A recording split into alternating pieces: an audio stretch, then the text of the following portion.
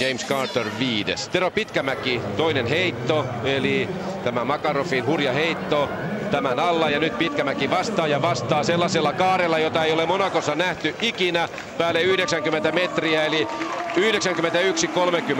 91-33, kolmas 90 tällä kaudella ja Tero Pitkämäki ottaa jälleen isännän otteen heittopaikalla. Olipa hurja raapaisu 91-33.